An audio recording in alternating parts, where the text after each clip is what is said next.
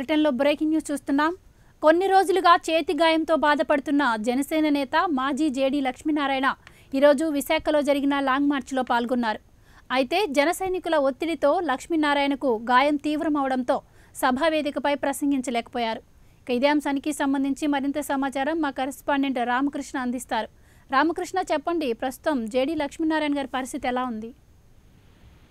Thank you Govardhani గత ఐదు రోజుల నుంచి కూడా విశాఖపట్నంలోనే జేడి లక్ష్మీనారాయణ మాజీ జేడి లక్ష్మీనారాయణ గారు ఉంటూ భవన నిర్మాణ కార్మికులు పడుతున్నటువంటి ఈ ఇబ్బందుల్ని అదే విధంగా వాళ్ళు పడుతున్నటువంటి అనేక రకమైన కష్టాలని వెళ్ళి స్వయంగా చూడటము వాళ్ళని పలకరించడము వాళ్ళు ఉన్నటువంటి కష్ట విషయాలు కూడా తెలుసుకుని జనసేనానికి కూడా తెలియజేస్తూ జరిగింది.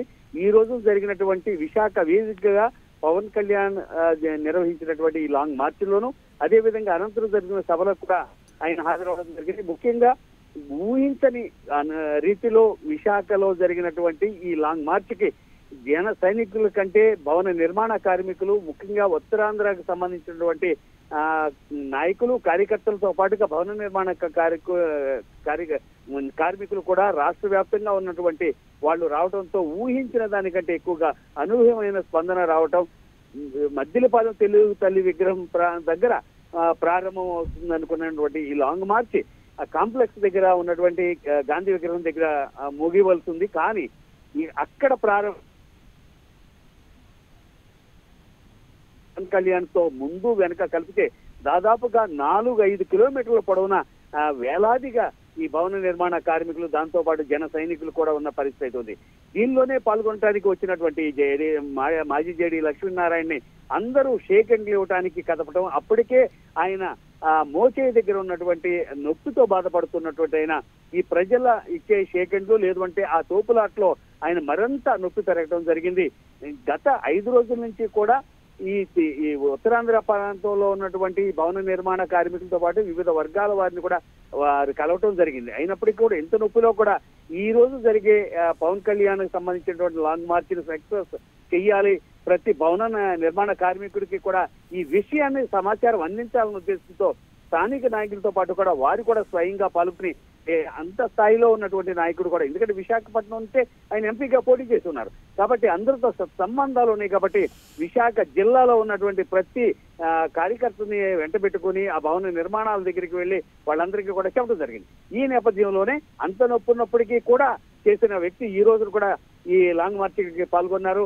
పవన్ కళ్యాణ్ గారి కంటే ముందుగానే ఒక హాఫ్ అన్ అవర్ ముందు అక్కడికి రావడం జరిగింది. కానీ ఆ వచ్చినటువంటి కార్యకర్త కానీ భవన నిర్మాణం కార్యక్రమం కానీ ఈ లక్ష్మీనారాయణ గారిని చూసిన వెంటనే ఆనందం తట్టుకోలేక వారి దగ్గరికి వెళ్ళి కర కరచారణం చేయడానికి ప్రయత్నించడం ఆయన నొప్పి తీవ్రతరం అయిపోవడంతో ఇందాక జరిగినటువంటి ఈ పబ్లిక్ మీటింగ్లో ఆయన మాట్లాడలేకపోయారు.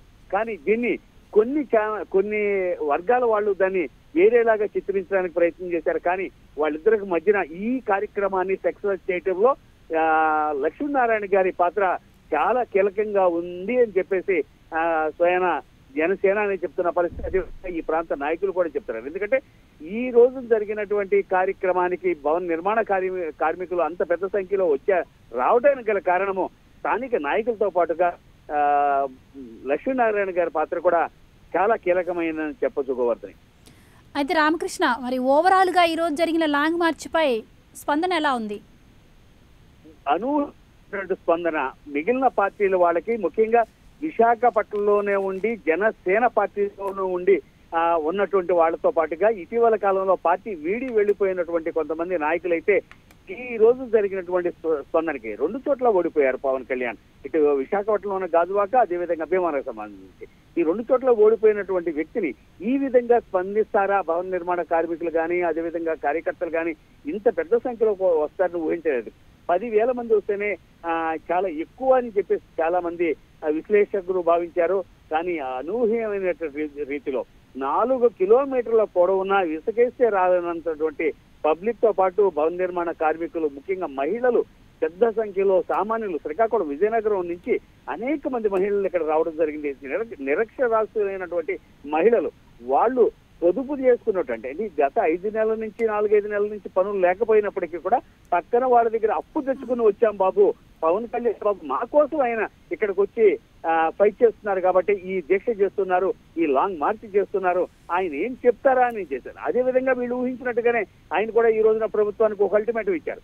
ఎవరైతే ఈ గత ఐదు ఐదు నెలలుగా పని లేక బాధపడుతున్నారో భవన నిర్మాణ కార్మికులకి వాళ్ళకి యాభై వేల రూపాయలు చొప్పున వాళ్ళకి ఇవ్వాలి. అదే విధంగా ఈ ఆత్మహత్యలు చేసుకున్న వాళ్ళు ఎవరైతే ఉన్నారో వాళ్ళందరికీ కూడా ఐదు లక్షల రూపాయల చొప్పున ఎక్స్గ్రేషియా ఇవ్వాలని చెప్పి ఆయన ప్రభుత్వానికి ఒక కాల పరిమితితో కూడినటువంటి డిమాండ్ కూడా పెట్టడం వలన అంత దూరం నుంచి వచ్చినటువంటి భవన నిర్మాణ కార్మికులు చాలా హర్షాన్ని వ్యక్తం చేస్తున్నారు. ఈ విధంగా చేసే నాయకులు ఉండబట్టే మేము అది ఊహించే ఇంత దూరం వచ్చాం.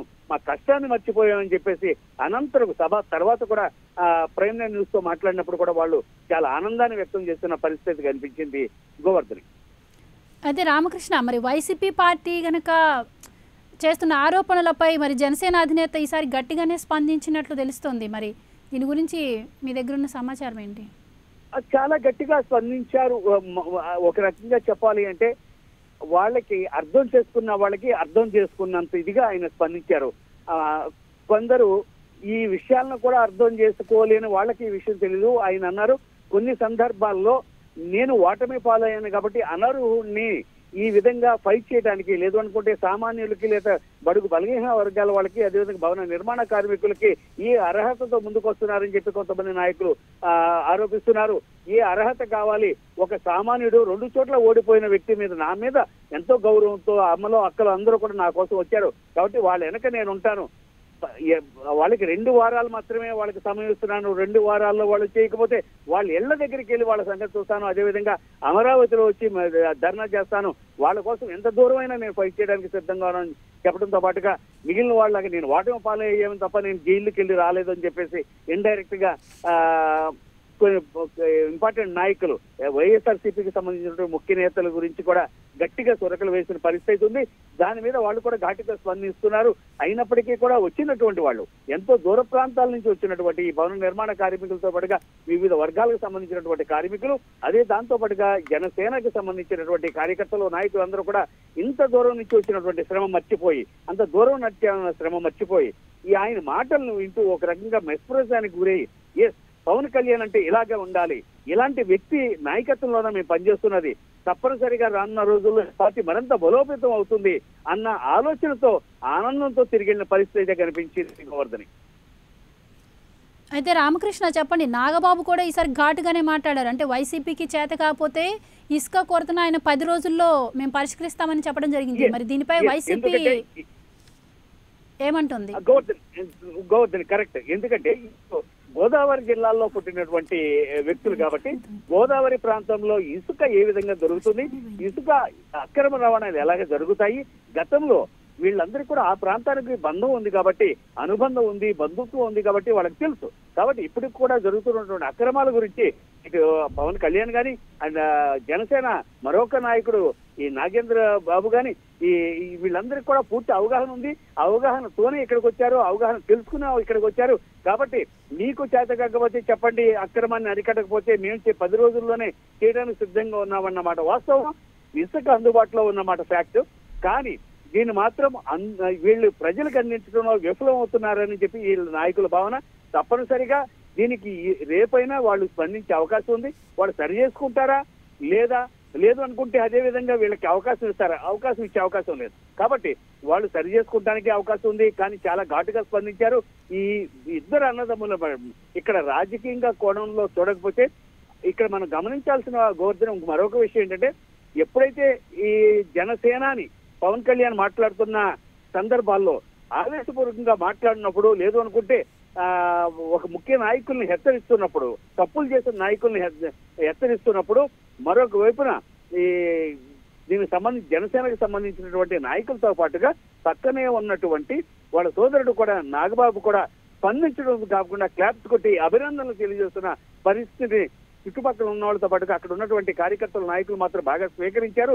ఇది ఇలా ఉండాలి బంధం అంటే ఇలా ఉండాలి నాయకులు అంటే ఎవరైనా సరే ప్రజల కోసము ఆ, ఇంత తపన పడే వ్యక్తులు ఆ, ఉంటారా అన్న రీతిలో ఈ పవన్ కళ్యాణ్ స్పందించడం మాత్రం అందరినీ ఆశ్చర్యం కలిగించింది. నాయకుడు అంటే ఇలా ఉండాలి ఈ నాయకుడి కోసం వాటమి అన్నది గెలుపు వాటములు కానీ ఈ విధంగా ఆ, చిన్న పిలుపుతోనే వచ్చిన వాళ్ళు చిన్న పిలుపుతోనే వేలాదికి అక్కడికి వచ్చారు. అదే విధంగా ఎవరైతే భవన నిర్మాణ కార్మికులు ఆకలితో ఈ మధ్యన ఆత్మహత్య చేసుకున్నారో వాళ్ళందరికీ మౌనం పాటిద్దాము అన్నప్పుడు ఆ నిమిషం పాటు వరకు శబ్దాలు లేదనుకుంటే ఈ స్పీచ్లతో హోరెత్తిపోయినటువంటి ఆ ప్రాంగణం కానీ ఆ ఉమెన్స్ కాలేజీ పరిసరాలు కానీ ఒక్కసారిగా ముందు సూర్యుని కింద వేస్తే సౌండ్ వచ్చే అంత ప్రింట్ ఆఫ్ సైలెంట్తో కొన్ని సెకండ్ల పా- పాటు అలాగే నిశ్శబ్దంగా ఉండిపోయింది.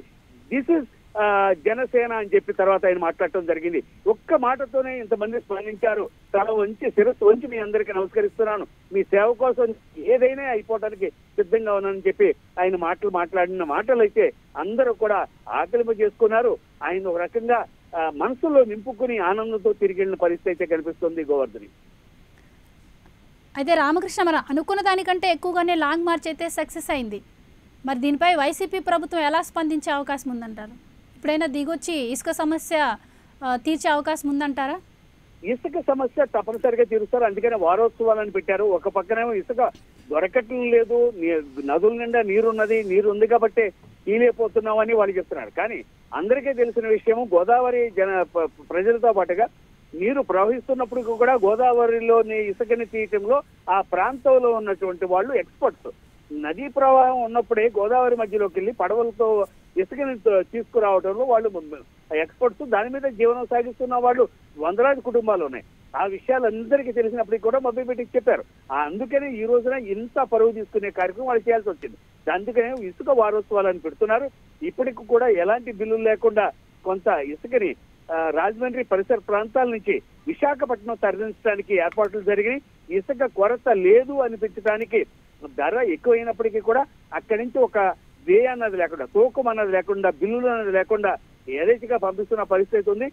పవన్ కళ్యాణ్ మాటకి ఇచ్చినట్టు కాకుండా మా అంతటి మేమే స్పందించాము. ప్రజల బాధను మేము అర్థం చేసుకున్నామని చెప్పడానికి మాత్రం వైఎస్ఆర్సీపీ ప్ర- ప్ర- ప్రభుత్వం ప్రయత్నం చేస్తుంది. దానికి తోడు వీళ్ళు కూడా అల్టిమేటం ఇచ్చారు. ఏదైనప్పటికీ ఈ ప్రయత్నంతో మాత్రం ఇసుక మాత్రం అందరికీ చేరే అవకాశం మాత్రం కనిపిస్తోంది Govardhani. Right thank you Ramakrishna